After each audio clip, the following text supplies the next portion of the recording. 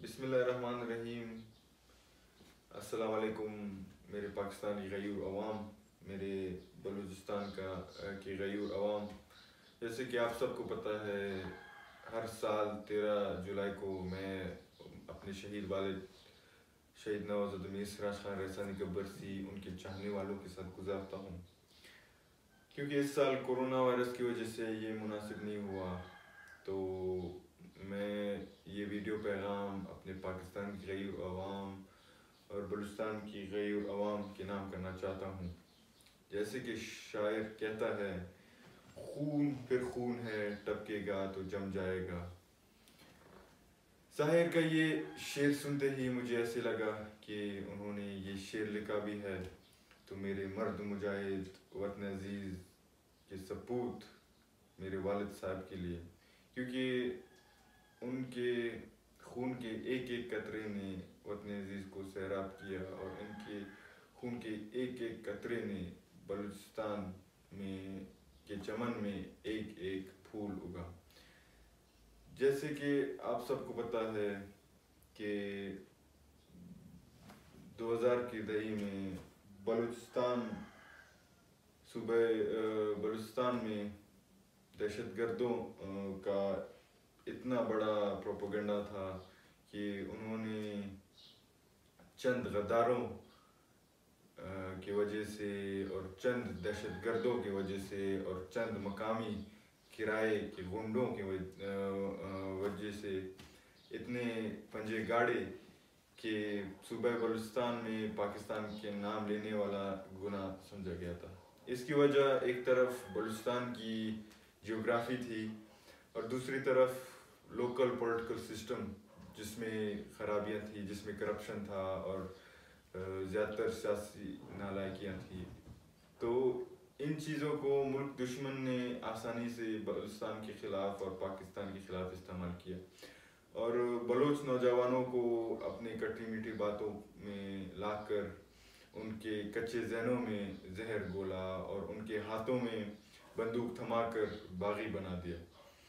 तो इसकी वजह ये हुई कि आए दिन बलूचिस्तान में टारगेट किलिंग में इजाफा हमारी माओ, बहनों को टारगेट किया जाता था।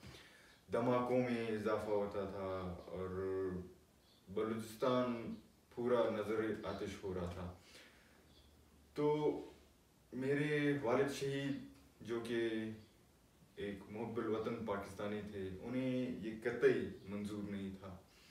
कि बलूचिस्तान, वतन अज़ीज़ के सूबे बलूचिस्तान नज़र आतिश होता और वो चुप बैठता। तो उन्होंने अपने सियासी बलूचिस्तान के हल के लिए सियासी जदोजहद शुरू की और सियासी जदोजहद को उन्होंने बलुस्तान मुतहद मास से शुरू की और फिर बलूचिस्तान अवामी पार्टी के प्लेटफॉर्म से बलोच नौजवानों के हाथों से हथियार लेकर कलम दिया और उन्हें सियासत और कलम की जदोजहद की तरकीब सिखाई। तो मेरे वालिद साहब के इस मिशन से मुल्क के दुश्मनों का जो नापाक अजाइम थे, उन्हें नुकसान पहुँच रहा था। और वो इस कदर डर गए थे, इस कदर गम गुस्से से अंधे हो गए थे कि उनतीस जुलाई 2011 को उन्होंने मेरे वालिद सईद पर एक कातिलाना हमला किया, जिसमें मेरे भाई, जवान साला भाई, शहीद नवाज़ अमीर, अकमल ख़ान रसानी वो जाम उन्होंने जाम शहादत नोश की। और, जैसे कि कहते हैं कि जुल्म फिर जुल्म है, बढ़ेगा तो मिट जाएगा, खून फिर खून है टपकेगा तो जम जाएगा। खाक सहरा पर जमे या कफ़ी कातिल पे जमे, फ़र्क इंसाफ पे जमे या पाए सलासिल पे जमे, खून फिर खून है, टपकेगा तो जम जाएगा। दुश्मन ये सोच रहे थे कि मेरे वालिद साहब से उनकी लख्त जिगर चीने के बाद वो तहम जाएँगे, उनकी जदोजहद चुप हो जाएगा, वो डर जाएँगे। लेकिन वो ये नहीं समझते थे कि मेरे वालिद शहीद ने पहले भी अपना हर चीज़ अपने वतन अज़ीज़ के लिए कुर्बान की है और आगे भी किसी भी कुर्बानी से वो दरेज नहीं करेंगे। तो अकमल ख़ान के खून के एक एक कतरे से उन्होंने बलुस्तान में एक एक फूल लगाया और देखते ही देखते बलुस्तान में एक मुहब्बुल वतनी का ये चमन फैल गया कि हकमल ख़ान के खून की रेत से मेरे वालद शहीद ने बलुस्तान के नौजवानों के साथ मिलकर पाकिस्तान की तारीख के सबसे बड़ा झंडा लहराया और ये साबित कर दिया कि बलुचिस्तान में उबुल वतन पाकिस्तानियों की कमी नहीं है और बलुचिस्तान, पाकिस्तान का अनटू है और कुछ गद्दारों की वजह से और कुछ बिके हुए नौकरों की वजह से हमारा हौसला कभी भी पस्त नहीं होगा। और हम इन हर कुर्बानी के लिए तैयार हैं और किसी भी कुर्बानी से दरेग नहीं करेंगे।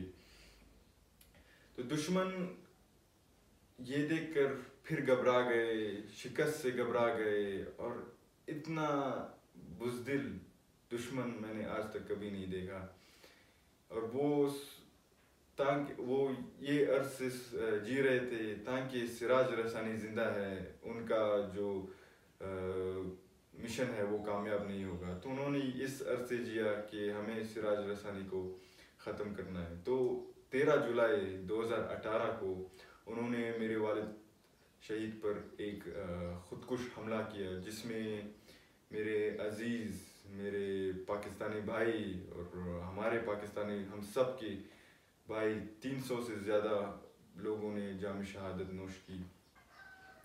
एक बार फिर वतन अज़ीज़ के पहाड़ों को बियाबानों को, सहराओं को अपने खून से सैराब कर तो मेरे वालिद शहीद की खून नाक से मुल्क दुश्मन ये समझ रहे थे कि उनका नाम लेने वाला कोई नहीं होगा, दुश्मन का पता लगाने वाला कोई नहीं होगा। तो मैं उन्हें ये कहना चाहता हूँ कि लाख बेटे कोई चुप चुप के कमी गाँव में, लाख बेटे गोए चुप चुप के कमी गाँव में खुद देता है जल्लादों का, मिस्किन का पता। मुल्क दुश्मन सुन लो, आज भी बलुचिस्तान पाकिस्तान का हिस्सा है। बलोच, नौजवान तुम्हारे शतरंज की खेल को जान चुके हैं, तुम्हारे फूल खुल चुके हैं।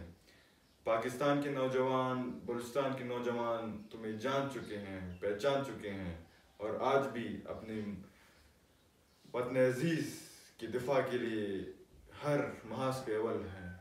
आज भी सिराज के बाद हर जमाल, हज़ारों जमाल, लाखों जमाल पाकिस्तान के लिए कुर्बानी के लिए तैयार हैं।